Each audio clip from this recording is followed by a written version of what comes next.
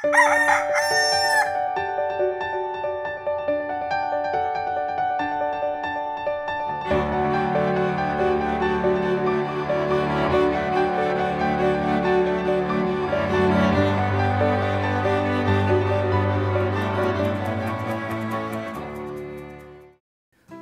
umaga po sa inyong lahat.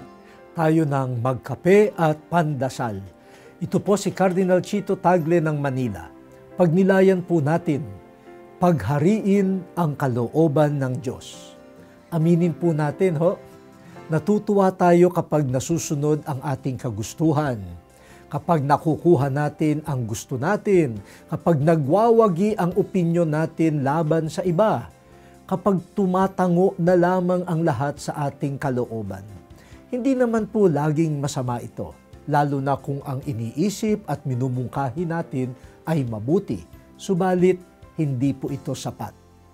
May kalooban na higit pa sa kalooban natin. May plano, ibayo sa ating mga panukala.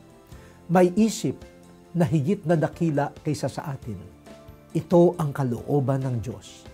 Kadalasan, nag-aaway ang kanyang kalooban at ang kalooban natin dahil ayaw nating magpasailalim sa Kanya. Akala natin tayo ang Diyos at Siya ang lingkod. Baliktad po yata.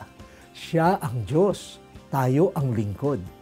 Tayo ang babasa, kikilatis at susunod sa kalooban niya. Dumating nawa ang araw na dahil gusto ng Diyos, gusto na rin natin. Kaya sabihin po natin, sundin ang loob mo dito sa lupa para nang sa langit. Amen.